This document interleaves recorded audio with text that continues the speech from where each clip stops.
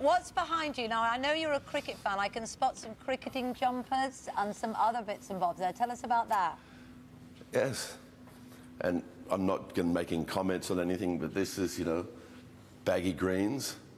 And this is Hansie Cronje. Wow. Anyway, um, And one of those hats along. there has a special connection um, to British and English cricket, doesn't it? Because it's isn't it part of the Bodyline series? A famous... oh, yeah, yeah. Tell us about that. Of course, yeah. This is Bert Oldfield's baggy green from the Bodyline series, 32 33.